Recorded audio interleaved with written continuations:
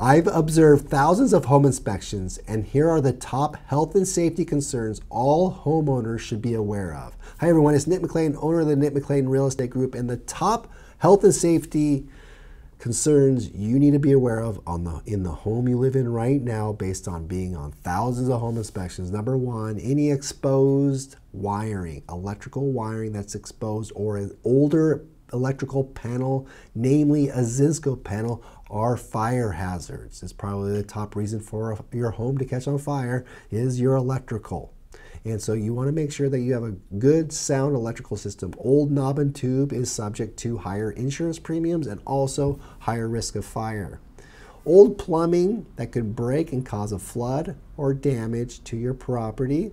Also contaminate or lower the quality of your household water should be considered. That also goes along with your sewer system and your sewer pipes because if you have a leak, you're contaminating the soils and you may not even know that exists. We see it all the time, and namely in homes that were built prior to the year 2000. You also have homes built prior to 1978. They are at risk of having lead-based paint. So you might have layers and layers of paint. However, the paint under those layers have lead, most likely have lead in them homes in the 70s, 60s, 50s, 40s, or older, chances are there's asbestos in the materials, whether it's a drywall or floors. In fact, I had a house built in 1964 that we had tested for asbestos and they found it in the floor, the drywall, and the paint. It was nearly everywhere and we didn't even know it.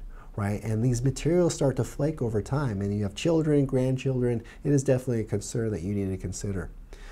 Other considerations that we see pop up is anytime you have leaking a leaky roof or an older roof, it leaks and you don't know it, or a toilet that's leaking, it does cause mold. And so the discoloration and mold, it gets in the drywall or in your crawl space or in your attic. I was once at a house and we opened up the attic and they didn't know it until we had the home inspection. The attic was full of black mold.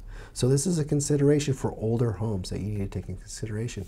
Other considerations for health and safety is the, the busy, how, how busy is your street? What's the traffic like? So if you have kids or grandkids, you know they're playing in the street, that is a risk, right? Also that with, with heavy traffic comes heavy noise pollution. So you might not know the stress that is, that is happening to you on a daily basis based on the noise. Like this, this chronic noise and disruption does play a toll on your health and safety.